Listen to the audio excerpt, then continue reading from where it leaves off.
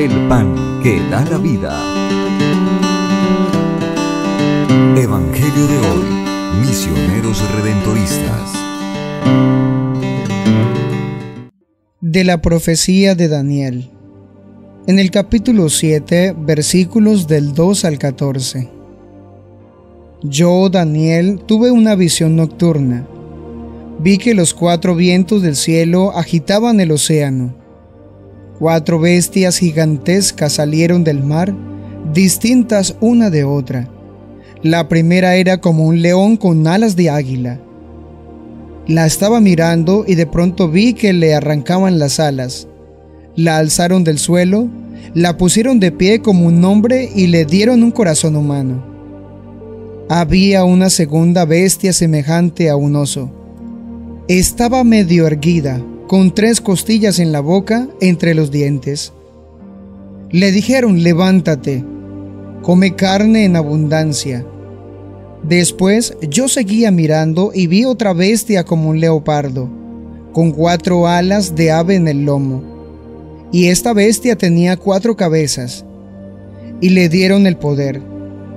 Después seguí mirando y en mi visión nocturna contemplé una cuarta bestia, terrible y espantosa y extraordinariamente fuerte. Tenía grandes dientes de hierro, con los que comía y descuartizaba, y las obras las pateaba con las pezuñas. Era distinta de las bestias anteriores porque tenía diez cuernos. Miré atentamente los cuernos y vi que de entre ellos salía otro cuerno pequeño y arrancaron ante él tres de los cuernos precedentes. Aquel cuerno tenía ojos humanos y una boca que profería insolencias. Miré y vi que colocaban unos tronos. Un anciano se sentó. Su vestido era blanco como nieve, su cabellera como lana limpísima, su trono llamas de fuego, sus ruedas llamaradas. Un río impetuoso de fuego brotaba y corría ante él. Miles y miles lo servían, millones estaban a sus órdenes. Comenzó la sesión y se abrieron los libros. Yo seguí mirando, atraído por las insolencias que profería aquel cuerno, hasta que mataron a la bestia, la descuartizaron y la echaron al fuego. A las otras bestias les quitaron el poder, dejándolas vivas una temporada, hasta un tiempo y una hora. Seguí mirando, y en mi visión nocturna vi venir una especie de hijo de hombre entre las nubes del cielo. Avanzó hacia el anciano y llegó hasta su presencia. A él se le dio poder, honor y reino, y todos los pueblos, naciones y lenguas lo sirvieron. Su poder es un poder eterno, no cesará, su reino no acabará. Palabra de Dios, te alabamos, Señor. Salmo del libro de Daniel. Ensálcelo con himnos por los siglos. Montes y cumbres bendigan al Señor. Ensálcelo con himnos por los siglos. Cuanto germina en la tierra, bendiga al Señor. Ensálcelo con himnos por los siglos.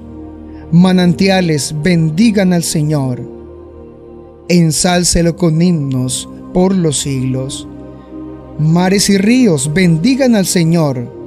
Ensálcelo con himnos por los siglos. Cetáceos y peces bendigan al Señor. Ensálcelo con himnos por los siglos. Aves del cielo bendigan al Señor. Ensálcelo con himnos por los siglos. Fieras y ganados bendigan al Señor. Ensálcelo con himnos por los siglos. Lectura del Santo Evangelio, según San Lucas, capítulo 21, versículos del 29 al 33. En aquel tiempo, expuso Jesús una parábola a sus discípulos. Fijaos en la higuera o en cualquier árbol. Cuando echan brotes, os basta verlos para saber que el verano está cerca. Pues cuando veáis que suceden estas cosas, sabed que está cerca el reino de Dios. Os aseguro que antes que pase esta generación, todo eso se cumplirá. El cielo y la tierra pasarán. Mis palabras no pasarán. Palabra del Señor. Gloria a ti, Señor Jesús. Reflexión de las lecturas. Monseñor Luis José Rueda Aparicio.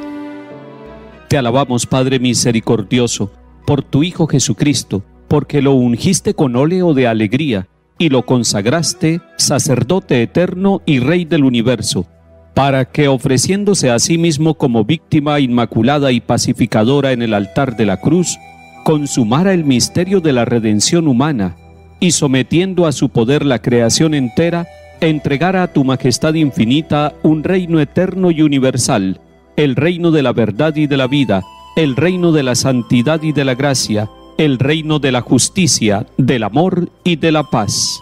Amén. Esta lectura que acabamos de escuchar tiene una simbología riquísima, una simbología abundante, y no podemos detenernos solamente a interpretar la forma de esta simbología y los elementos, los colores, el fuego, el mar, los números.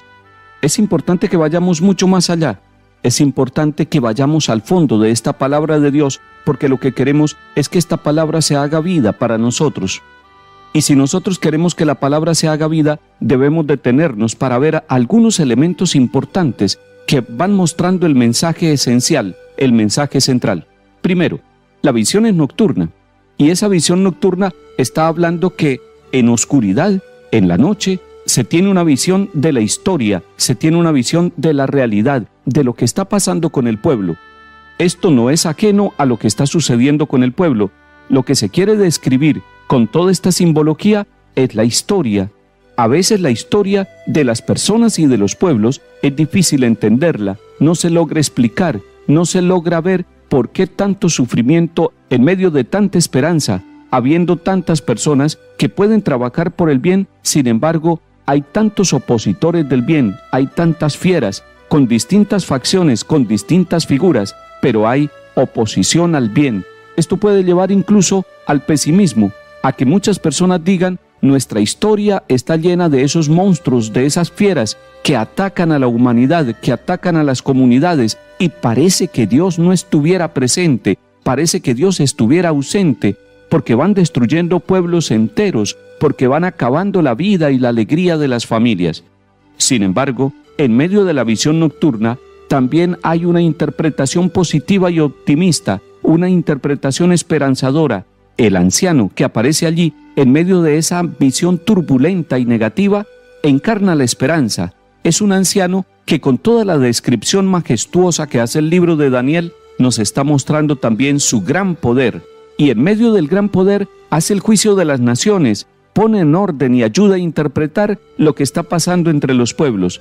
Además, aparece la figura de un hijo de hombre, que está anticipando lo que será el Hijo de Dios, nacido de la Virgen María, que será la luz de la historia, el Señor de la historia, el que tendrá un reino que no tendrá fin y que vendrá a poner el orden verdadero de esperanza, de libertad, de paz, de reconciliación en medio de una humanidad confundida. Así como el libro de Daniel nos muestra esa situación confusa de la humanidad, nos podemos estar sintiendo nosotros. La llamada es, interpretemos la historia, miremos los signos de la historia, miremos todas las contradicciones, pero no perdamos la esperanza.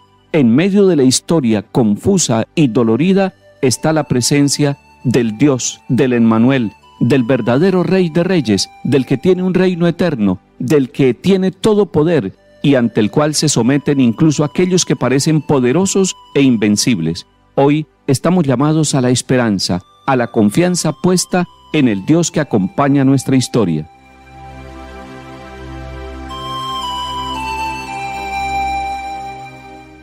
Estamos leyendo el capítulo 21 de San Lucas durante toda esta semana y el Señor nos está enseñando, nos está dando su doctrina que es luz y que es vida. A través de esta parábola nos dice, fíjense, en la higuera, en los árboles, cuando echan brotes se acerca el verano. ¿Qué es lo que nos está diciendo el Señor? Que estemos pendientes, que tengamos los ojos y la mente abiertos para ver en este mundo, en los acontecimientos pequeños y grandes de nuestra vida, la realidad de la presencia del reino de Dios. Es un don que debemos pedirle al mismo Dios, a su Santo Espíritu, que el Espíritu Santo nos dé a todos, hombres y mujeres, la capacidad de discernimiento. Discernir es encontrar la voluntad de Dios, discernir para descubrir el reino de Dios presente en la historia de nuestros pueblos. Es el reino que está metido en nuestra vida. No es un reino que viene de fuera, es un reino que ya está presente en el corazón de hombres y mujeres y en los acontecimientos de la historia de la humanidad, guiados por Dios, por el amor y por su Santo Espíritu. Por eso nos dice el Señor en Lucas 21:33, el cielo y la tierra pasarán, mis palabras no pasarán todo lo que existe materialmente se transformará, pero la palabra del Señor, que tiene fuerza espiritual, no pasará nunca. Debemos confiar en su palabra a pesar de que todo cambie, a pesar de que todo se transforme, poner nuestra confianza en la palabra del Señor. Y la palabra no es solamente la Biblia, la palabra es el catecismo también, pero no solamente la palabra escrita, sino la palabra que se hizo carne y habitó en el vientre de la Virgen María y puso su morada entre nosotros. Él es el Rey. Quiso ser niño, quiso tener madre. El Rey de la vida nació en el hogar de José y María. El Rey de la vida es la palabra que habita entre nosotros y que nunca pasará aunque el cielo y la tierra pasen.